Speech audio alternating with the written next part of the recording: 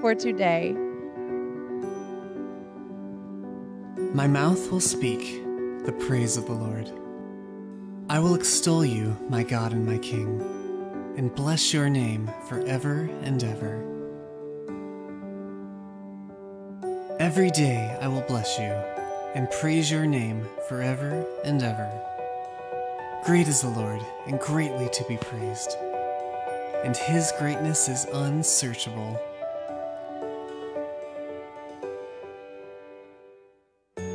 All your works shall give thanks to you, O Lord, and all of your saints shall bless you.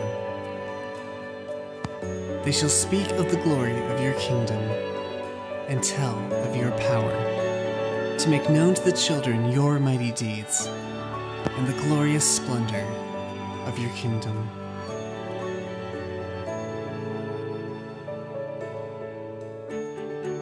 The Lord is righteous in all his ways and kind in all of his works. The Lord is near to all who call on him, to all who call on him in truth. He fulfills the desire of those who fear him. He also hears their cry and saves them. My mouth will speak the praise of the Lord.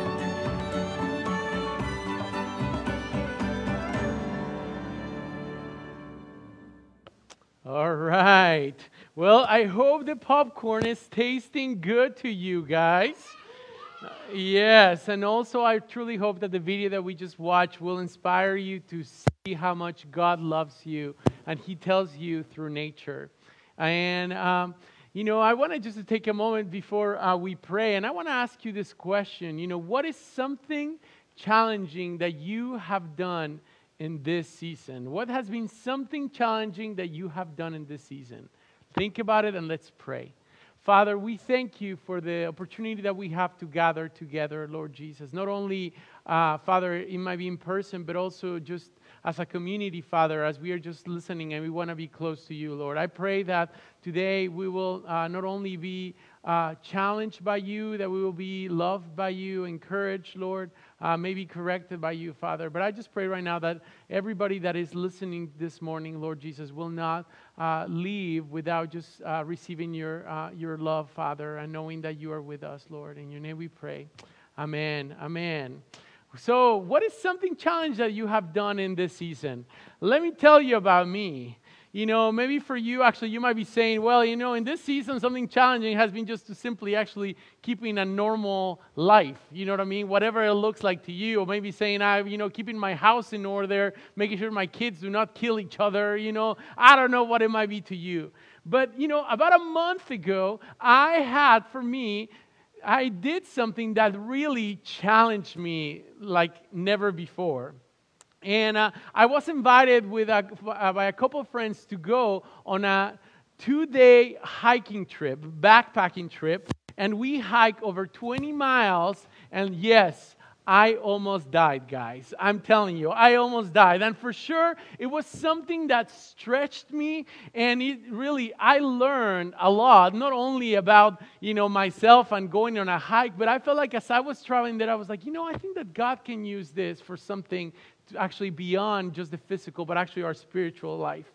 You know, and we just finished our unfair series when we talked about the life of Joseph, you know, and we actually next week we're going to be starting this new series about the Apostle Paul. And I felt that it was important for us today just to do something a little bit different, but really take a break from this and just really for me, I wanted to share my heart about, uh, you know, about these lessons from uh, you know, hiking the mountains.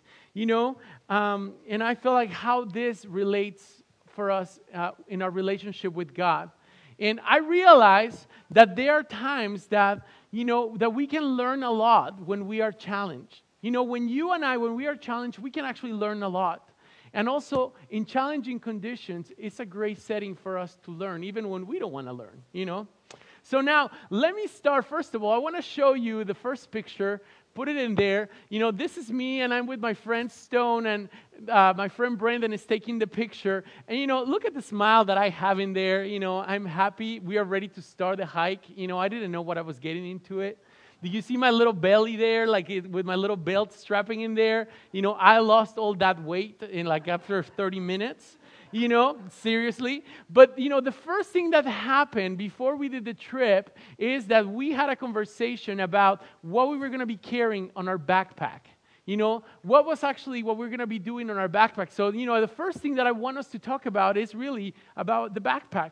Um, you know, one of the things was that, you know, our goal for us, and we got together, was like we needed to make sure that the backpack that we were carrying was going to be about 25 pounds or less. You know, it, that was going to be the, the first thing, you know, and this actually was not the actual backpack that I took because they said that it was too big for me to take. And I was like, I don't I mind. I'm a big guy. I can carry it. You know, I'm strong, you know, and all this stuff. And then um, I realized that, you know, uh, I needed to take some stuff. So they gave me a checklist saying, like, you know, you need to take some like dry food. You know, you need to take, you know, some water. Make sure that you have that. If you want to take some snacks, you can take that. You know, for me, and I'm checking my checklist, and I go to Walmart, and I'm like, man, I really need to take some good snacks. So I see uh, trail mix. You know, there was like the family one pound thing. I was like, I'm gonna take that. So I put it in my cart. You know, then after that, I mean, like, I mean, I really like beef jerky. You know, I'm traveling and I'm with pepper. And I was like, yeah, I'll do that. So there's a family size beef jerky. I put it in the cart, you know. Then I was like, you know, it would be great. I mean, dry food is great, but I mean, maybe I can just take some Campbell's, like, uh, you know, canned soup on it, you know. So I got a couple large canned soups. I was like, I'm going to take that too. And I was like, you know, being thirsty, I mean, I don't want to buy a water bottle or something. Maybe I'm just going to buy, you know, a 25 pack of bottled water, you know, of great value. I was like, I'll take that. So we are going there and we meet at my friend's house, at my friend's Brendan's house, to see all the stuff we are taking. And he's like, uh, you're not taking that. Nope, you're not taking that. You're not taking the 25 pack bottled water. There's no way you're going to be able to carry that. I was like, what are you saying? I'm weak? What, you know?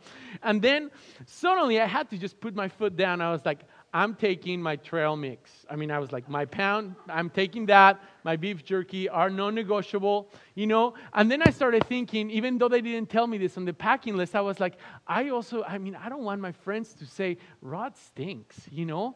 I was like, I don't want that. So then, you know, I had my, you know, my deodorant that is about this size, you know, that says like 25% more, you know how it says in there, you know, I was like, I'm taking that just in case, you know, I don't want my friends to think that I stink, you know. I, I took multiple changes of clothes, you know. So I have all this stuff in my bag that nobody knows, but it's there. And I'm telling you this. Suddenly, I started thinking about the stuff that I was putting in my bag, and makes me think that as we go through challenges of life, what are some of the things that you and I are carrying in our bag? You know, what are some of those things that you and I are carrying in our bags? You know, look at actually what it says in Hebrews 12, verse 1. It says this Therefore, since we are surrounded by so great a cloud of witnesses, let us also lay aside every weight and sin which clings so closely, and let us run with endurance the race that is set before us. You know, it makes me think in, in our backpack, in our, in our physical backpack that we, all of you, and I know each one of us are carrying. You know, are certain things that probably you have to put in, like I had to, that they were non negotiables, like water. I had to take some basic food. You know, for me, was putting snacks. But suddenly I start realizing that there were certain things that actually I actually did not actually need, that I was taking there just because I thought that I needed, but in reality, along the way, I was like, this was not good. You know, and what I was thinking, what are some essential things in your life? Maybe it's your family, maybe it's your marriage, maybe your kids, your job, maybe it's actually being at school right now and taking classes. Maybe you're, uh, you know, being in charge of the finances and beyond. You know, and I want you to think about what are some of those things that you're are carrying or you need to carry in your bag that are actually are essential, but also what are some of those things that are non-essential? You know, because guys, when we started, when I was smiling in that picture that you saw, guys, I was in my backpack and I was like, you know, I can do this all day long. But 30 minutes later, as we're going up the mountain, guys, I am sweating like a pig. My legs are shaking. My heart is, you know, going so fast. And my bag, honestly, it started feeling three times heavier than what actually I was feeling at first.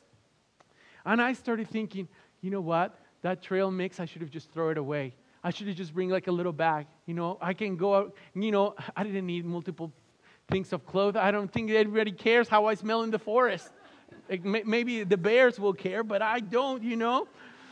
And honestly, don't tell anybody, but before our, after our second day, actually, I got rid of like 80% of all the food that I had that I wasn't gonna need because I even wasn't gonna use it. I just got rid of it because I was like, I'm not carrying this. It's so heavy in my bag. So now, guys, what are some of those optional things that maybe in your life you are carrying right now in your backpack? What are some of those things that maybe, like me, they will make you feel comfortable at times, but you are carrying this big weight?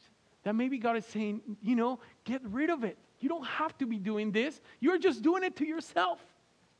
Maybe something financially, maybe it's a relationship. But you know, you have to stop and just take a minute and say, you know, if I really want to finish this race well, I have to remove some of those things that are too heavy in my bag that you are not supposed to be carrying.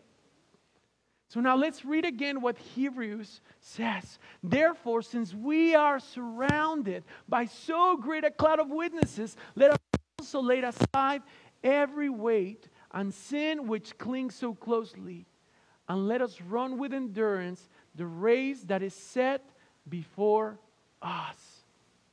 Guys, we have to get rid of any unnecessary weight in our lives, in our physical backpacks. You know and then you know after that picture that i show you then suddenly they were ready to close the trunk of the car and they said hey rod um, i don't know if you would like to use this but you know we use this uh, all the time and we brought an extra pair of this and it says some of this climbing poles. You know and i was like all right you know i look like uh, you know um, you know and i was like look at that I look such a professional, right? That could be like with Bear Grylls or something. Never mind. Look at my anyway. My anyway. Okay, my legs need a little more sun. Uh, just saying. Um, but you know, as they opened the trunk, they said, "There is this poles that maybe you should consider taking with you." And I was like, "Really?" And so, like, yeah, they might help you. And I was like, I don't even want to say no. But then at the same time, I was like, I'm going to look goofy, you know? Like, you know, I feel like I've only seen it in the movies, you know, when they're climbing high in the mountains, you know, and like people get, you know, died and then they have to eat each other. And I was like, you know, I told those guys, hey, you know, if you need to eat someone, uh, eat me first, you know, eat Mexican food, it will feel better. You know what I mean? Um, and I, so, anyway, so so then suddenly I was like, I'll do it. And I'm telling you, after 30 minutes, I could feel how important these poles were because they were actually taking some of the weight from my legs. They were taking it off, and it was more in my hands as I was going there through the trail. But then the other part was this actually also helped me to actually to stay grounded and balanced as I was going actually through the difficult parts, guys. You know, uh, there was actually a moment when I actually failed. And if it wasn't because I was, you know, with using one of the poles, I would have gone like down probably, you know, below or whatever. And so I end up scraping my knee really bad not really bad, but kind of bad. And, um, and then um, at that moment, I just heard my wife's voice talking to me. Something that she told me before we left, and it wasn't, I love you, have fun, or kind of like, I'm gonna, I know that you're gonna do great. She told me, please make sure you don't come back complaining that your body hurts, all right? Because you're doing this to yourself. So that's what I heard when I was like, you know? I knew that I wasn't going to get any sympathy from her, from my injury, you know? So now, you know, when I was going up the hill, they helped me to go up. But also, when I was going down the hill, it was actually helping me also to make sure that, you know, I wouldn't fall. You know, makes me think some of you guys might be right now going up the hill, going in difficult circumstances when you're like, this is hard. Maybe for some of you, actually, you are probably going downhill and it's like, this is going down too quickly. And maybe you need some poles. So I thought that the equivalent of these two poles for me hiking the mountain was actually one of them was the Word of God, and the other one was prayer. You know, in the first one, let's see what says in Psalm 119. It says this Your word is a lamp to my feet and a light to my path. You know, guys, one of the poles in our life is actually the Word of God. You know, because, you know, when we actually mainly travel during the day, you know, before we stop for, you know, for our time just to camp and beyond. And so we really, we're not using a lamp to go through this, you know, trail, but really, the Word of God actually can keep you balanced.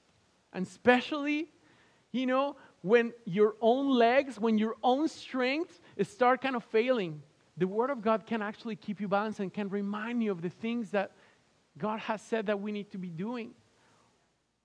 You know, when stuff gets too heavy, you know, you can rely on the Word of God to tell you the direction that you should go. You know, guys, in these difficult times, you know, we need to be reminded what the Word of God says. It says that we need to love our neighbors. You know, are you loving your neighbors in this season? And I'm not talking of, you know, the guy, the neighbor that actually that everybody loves because they mow their lawn on time and their house looks pristine. Or maybe during Easter, they actually bring you a basket and you're like, I really like these neighbors. They're great. But I'm talking about are you loving the neighbors that rub you the wrong way? Are you loving those neighbors that play loud music on Saturday morning and it's country music? Imagine that. That's just, ah, you know. You know, the, this Bible also says that we need to pray for our enemies. You know, are you praying for those that are different than you? You know, for those that maybe think that you are wrong and you think that they are wrong. Maybe for those who hurt you, are you praying for them? You know, maybe the challenge that I want to give you in this season for you to hold to the pole of the Word of God is maybe right now you have to do is you have to go online in your computer and you have to find a 30 day reading plan, maybe for you to get going. Maybe you need to download again the uh, YouVersion Bible app that maybe you downloaded a couple years ago, and maybe you're like, oh, I need to download it again, and find a 30 day reading plan and start reading that. The second pole, guys, is prayer. You know, this is what it says in 1 Thessalonians 17. Pray, rejoice always. Pray without ceasing. Give thanks in all circumstances, for this is the will of God in Christ Jesus for you. Guys, I'm telling you guys, as I was climbing, after 30 minutes, my prayer life went up to you know the sky. I was praying i was begging i was saying lord please help me you know because i was in pain i was rebuking the devil. I was like you caused this to me you know you're distracting me i'm hurting and all this stuff you know. And then i'm also thinking i don't want my friends to think that i'm you know a flake and i'm gonna give up on them. But you know what another thing that is gonna keep us grounded is prayer it's prayer, guys. You know, prayer is when we talk and also when we listen to God. You know, if you are not in the habit of using this pole of prayer, this is a great opportunity for you to start. You know, set your phone, set a reminder in the morning for 10 minutes or in the evening where you're just going to be still and maybe you're going to just talk to God for like literally for five minutes and then listen for five minutes. You know, talking to Him about how you feel, about what's going on in your life, knowing suddenly or asking Him, God, what it's in your heart? And I believe that suddenly He will start showing you places uh, that you can actually be His hands and feet. Imagine that. That suddenly you start seeing things that you haven't seen before. You know, knowing what is actually the direction of your life. Because I know, guys, I'm the first one to say, even though I'm 39 years old, there are times when I'm like, am I really going in the direction that I'm supposed to go? And there are times when God prompts my heart, says, you know what, you need to change some things. There are times we're like, just keep going. But that happens when we take time to pray, to talk to God, to listen to God. You know, maybe God wants you to speak to you about the future of your family or your marriage or actually your church, this church, and beyond. Make sure that you are holding to the pole of prayer. You know, and the last lesson that I learned in this trip that it actually it really matters who you travel with. It really matters who you travel with. You know, guys, I had two teammates, my friend Brandon and Stone. You know, one of them was experienced. He's the one who had a map. He's the one who knew what are the signs that we needed to follow. He was, was the one who was keeping us in the right direction. The second one that was younger, he also was experienced but he brought the energy, the life. You know, I was trying to keep up with him, but there's no way that I could keep up with a 15 years old guy. You know, guys, but there was something that I caught at the very beginning of this was that the, as the three of us we were hiking, they said something. We need to stay on a steady pace. So I was, you know, at, at, first I was in the middle. You know, I was kind of like in the Oreo cookie. You know, I was in the middle of the Oreo cookie. And like they were kind of keeping me in pace. You know, we were not going nor too fast nor too slow. We were just going, you know, going a little bit at a time, you know. So who are those people in your life that actually keep you on pace? Who are the people that are going to help you to walk not too fast, not too slow, but in the right pace. You know, guys, something also that happened is because originally I was planning to take my 25 bottles of water. You know, after a few minutes, so 30 minutes, I was actually so thirsty. I had drank all my water. And then they said, you know what? We need to find a water source. So they had a map of where they needed to find a water source, you know. And if you've seen, been in TV, you know when they drink dirty water and all this stuff, and like they eat like you know like all stuff that is disgusting. I was like, I'm not drinking that water. I was like, this water looks dirty, you know. And but I was like, I'm so thirsty. I just do it. And then suddenly my friend pulled out of his bag. He's like, no, no, no, no, no. I have this special bag and has a filtration system. Ah, I forgot about the picture. Yes. So, anyway, so that picture was after we hiked for 10 miles, we camped and we found this homemade, actually, God made bath. So we, I got in there, and then someone else got in there. I mean, and it was so cold, but it was so great. It was refreshing. Let's go again. Next slide. Next. Next slide. You know. You know that I was sweating anyway. I was smiling. It was a fake anyway. So. So as I was drinking, uh, ready to drink this dirty water, my friend pulls out this bag that had also a filter in it, and she started putting all the water that we were getting from the creek, and the water turned out to be clean. It cleaned the water. And I started thinking in our life is do you have people that are going to give you clean water to drink or they're going to give you dirty water to drink? And I'm talking about spiritually in your life. You know, and I realized how valuable it was to be with those guys traveling because I would have just grabbed my hands and start drinking the water there, and probably 30 minutes later, I would have had something else in my stomach coming out, as you probably imagine, you know? So now, who are those people that you have in your life? Are there people in your life that are challenging you, that are speaking truth, they are loving in you, they are a good ear, You know, not only what you want to hear, but actually they tell you what you need to hear. Those that keep you in the right pace will take you to drink pure water. Because, guys, you know, being alone is tough. There's no way I would have been able to make this hike by myself. I would have actually just walked back and I was like, I am going to um, McDonald's and I'm going to get a Big Mac combo and I'm going to drink it because this is really tough. I would have gone back or I would have died in the wilderness or something like that. You probably wouldn't be here. Uh, you would have find me on the news or something like that. But it makes me think that being alone is actually tough. You know, it makes me think that Jesus, even he modeled this really well. He actually had 12 disciples. But of those 12, there were three guys that he actually, at times, he brought with him to special times to say, hey, come with me.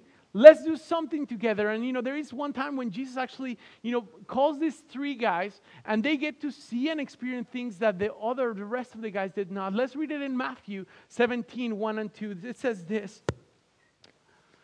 And after six days, Jesus took with him Peter and James and John, his brother, and led them up a high mountain by themselves. It wasn't as high of a mountain as the one I went, just so you know.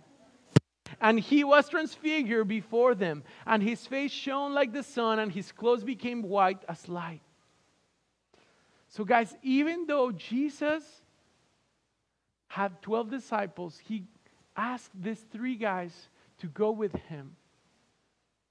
You know, Peter, James, James and John. They saw and experienced things that other people did not. Jesus felt comfortable with them. You know, they, they were not perfect in any means. You know, if you later on read about those guys, actually, when Jesus is ready to go to the cross, he goes to the Garden of Gethsemane and he's suffering. He's saying this that is, is to come is going to be really tough. So he asked these three guys to say, Come and pray with me, help me. And you know what those guys did? They fell asleep. And then Jesus wakes them up and said, Hey guys, pray with me. This is terrible. And they wake up and they fall asleep again. Imagine that how bad it was. And finally, Jesus is like, whatever, you know. But who are those people in your life?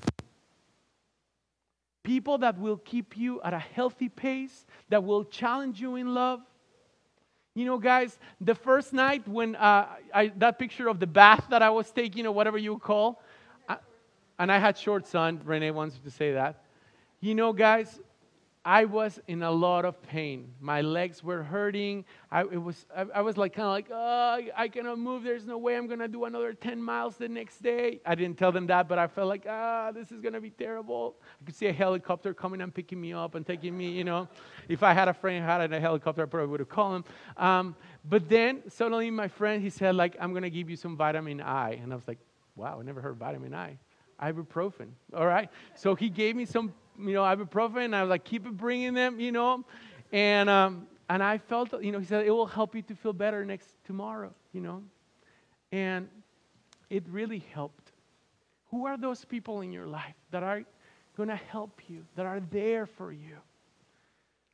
You know, do you have anyone that you can bounce ideas, you know, about, tell him about what are you putting in your life? That are going to show you the water sources where you can drink healthy things. They will help you to stay hydrated spiritually. You know, guys, and something happened that I thought it was really neat that we did not plan it like this. We had a lot of fun. We laughed and we said jokes. We saw snake. That was a rattlesnake somewhere in there. We didn't step on it. It was great. But there were a, a few times when we had some really good, meaningful conversations. Suddenly, we started talking about deep stuff, not the whole time. We had a time to laugh, and I felt like I was like, that was so good.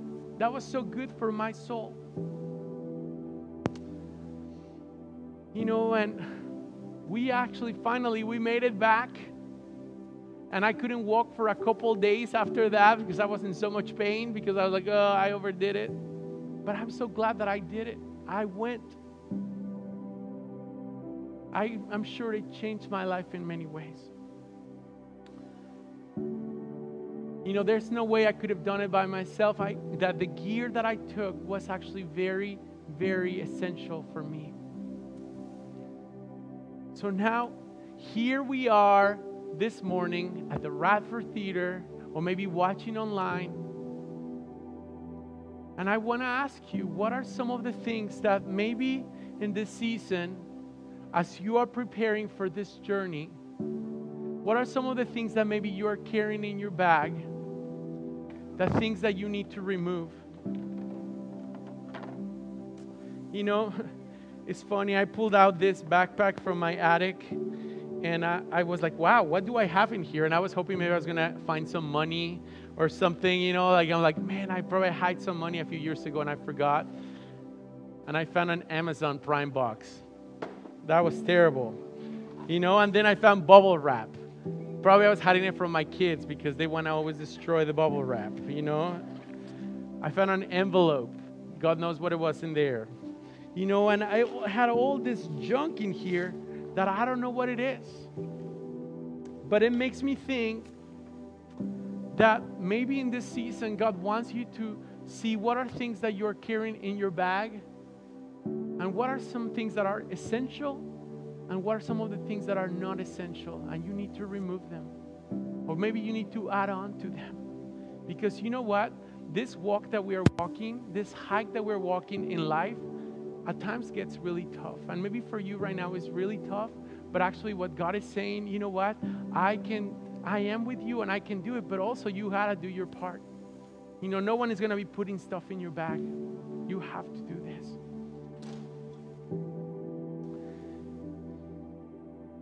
Now, the other thing here is the poles that you have. Maybe you think that it's funny, they look funny, but actually they have a very specific purpose.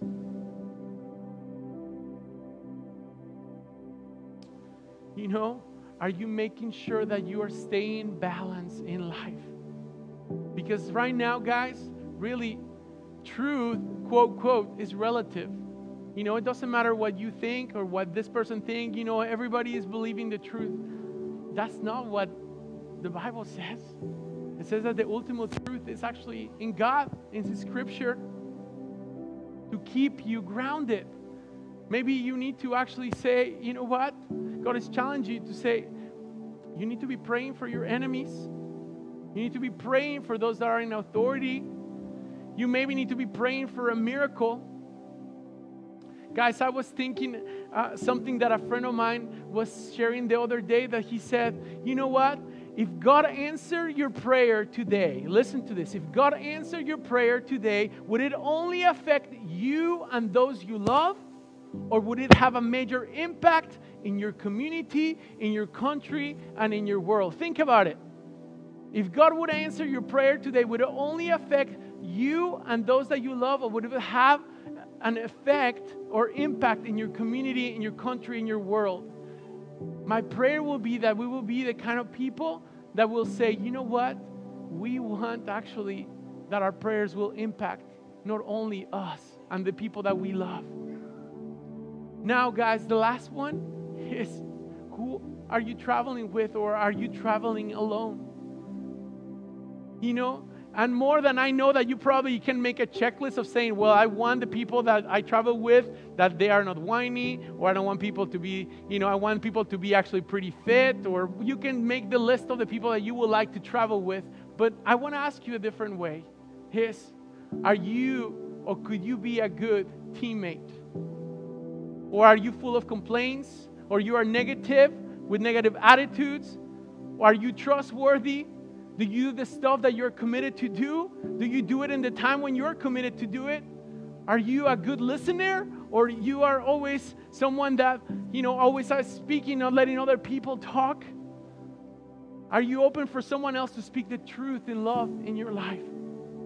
Guys, I'm praying that in this season, perhaps God wants you to say, I want you to pray that that you know that you see who are those people. Maybe God already has given them to you.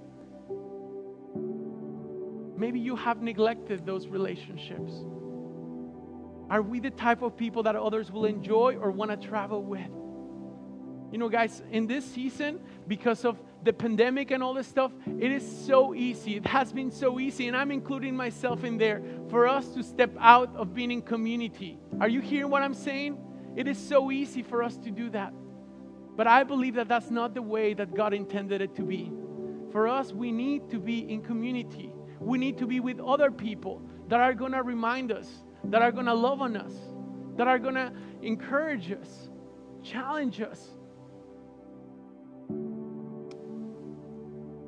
You know, not long ago, I was talking to a good friend, and he was telling me about some difficult things that he was going through. And as he was talking, then suddenly he started realizing that a lot of the things that was happening to him was because he was alone, because he had actually neglected some of his relationships, you know, for good reasons. But he had just suddenly realized that he had, you know, closed that community that he had. So now this is what I would like to do is I would like for us to stand up. We're going to be closing with a, a song in just a minute. But what I would like to do is this is I would like to challenge you about this. You know, that maybe for you, you actually, this journey, you know, I knew where we were going and we were going to go. But I believe also that, you know, right now, maybe for you, you have to find where are you going. I know, you know, I believe what Jesus said that, you know, for those, you know, that believe in Him, believe in Jesus will not perish, but have an eternal life. Maybe you know that destination. But maybe for you, actually, you are not there yet. And maybe God to challenge you this morning to say, you know what? I really need to define the destination that I'm going. And maybe for you is to say, I want to start this relationship with Jesus. And if that's you, I want to pray for you. I want to take a moment and pray for you. You know, maybe for you, might be at something different. It might be for you to take the next step. Might be for you to say, I am going to get baptized in this coming time that we're going to have baptism and say, I want people to know that I'm a follower of Christ, that I'm decided that I'm going to follow him. You know, maybe for you is to say, God, show me what are the things that I need to take off or I need to put in my bag that I'm carrying.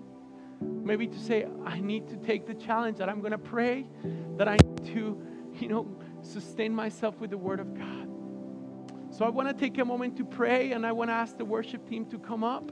And Father, I just want to thank you for the opportunity to be here, Lord Jesus. I want to pray specifically for my friends that in this season, Lord, that they need they need to start a relationship with you that maybe right now they have been hesitating, that they said, This is looks scary. I just pray right now that they will take the first step. And I know that you will take the next steps also, Lord. So I just want to pray for those that right now they need to pray this prayer and say, Father, I want to start this relationship, this journey with you.